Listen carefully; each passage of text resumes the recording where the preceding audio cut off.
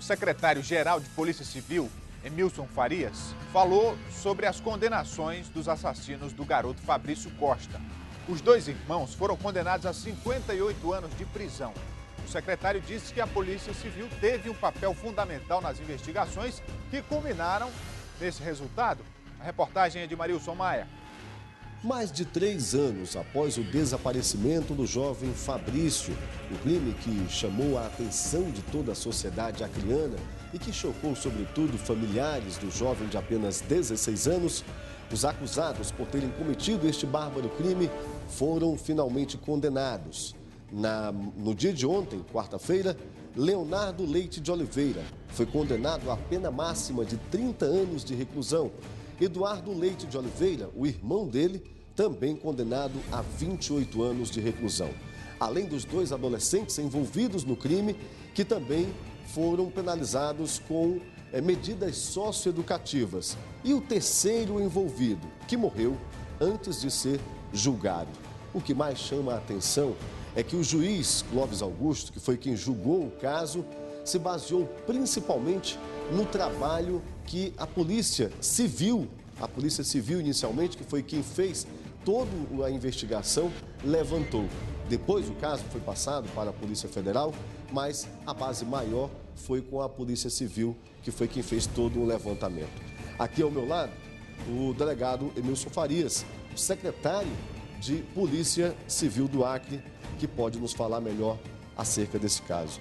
Doutor, a gente percebe que a exemplo do caso Elisa Samúdio, em Minas Gerais, onde até hoje também não se tem é, identificação do corpo, porque não foi encontrado, esse foi um desafio também da Polícia Civil do Acre.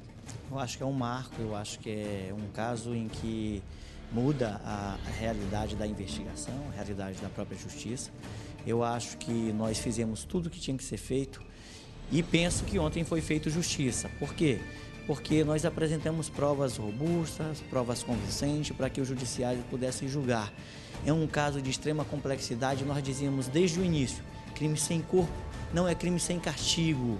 A pessoa que praticou um crime, que ocultou o cadáver e que achou que ia passar impune pelas mãos da justiça, acabou tendo a condenação no dia de ontem. Desde o início, a Polícia Civil dizia que aquele era um caso de latrocínio com ocultação de cadáver. A tese policial, graças ao empenho e o comprometimento dos investigadores da Polícia Civil, ontem foi confirmada pela sentença do Dr. Clóvis, que confirmou aquilo que a gente dizia desde o início, que aquelas pessoas tinham sido autores do crime. Já estavam presos, os dois já estavam presos por pedido da Polícia Civil e decisão do Judiciário, estavam presos já há mais de dois anos e ontem tiveram suas condenações.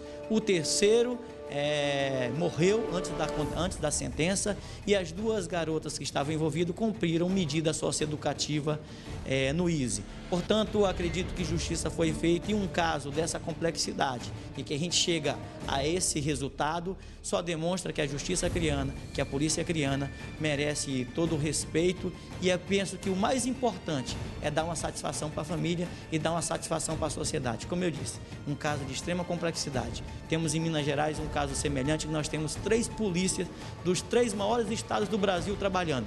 Nós temos Minas Gerais, nós temos Estado de São Paulo e Estado do Rio de Janeiro para dar satisfação no caso da Elisa Samúdio. Um caso de extrema complexidade e que a gente torce para que a justiça seja feita assim como aqui no Acre foi feito. Penso que aqui nós temos a missão cumprida e fizemos o nosso, o nosso trabalho e demos a resposta à sociedade acriana. Isso é que é o mais importante e isso é que faz com que a gente continue trabalhando cada vez mais para poder dar resposta. Era um caso emblemático que muda a realidade da investigação policial e muda a realidade da justiça criminal.